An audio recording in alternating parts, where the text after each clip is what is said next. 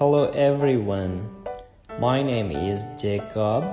Today I'm gonna tell you the story about busy swimming. It's fun at the water park. Children swim. Who is wearing armbands? Quick, get changed and jump right in. See splashing feet a yellow slide. Find the orange sandals. Armbands on and in we dive. Teacher shows us how to swim. Let's have a race and see who wins.